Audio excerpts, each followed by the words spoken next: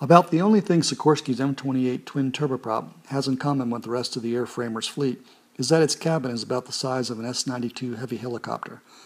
Despite the dissonance, the company is holding on to the PZL built rugged design and is starting to market the multi purpose short takeoff and landing aircraft into areas that should find it particularly appealing the Caribbean and Latin America, locations where Sikorsky's support network can speed up repair and maintenance tasks.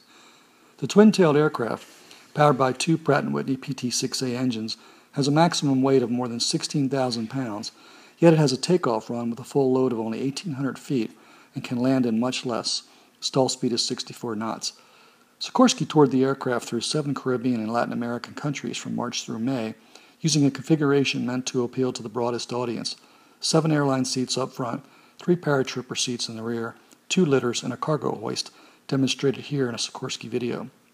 Sikorsky demonstrated the short takeoff and landing capabilities to Aviation Week using a PZL crew on a stop off at the Alliance Airport in Fort Worth, Texas in March. Rate of climb after takeoff was as high as 3,000 feet per minute, and a landing roll could be measured in hundreds of feet.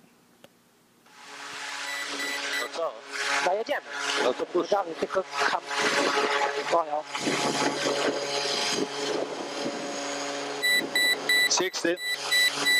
92, rotate.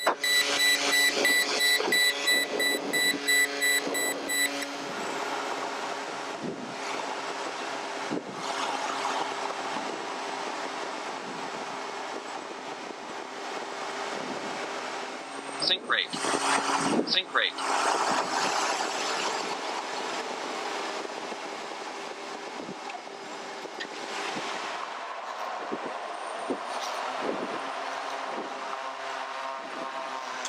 Já esteve. É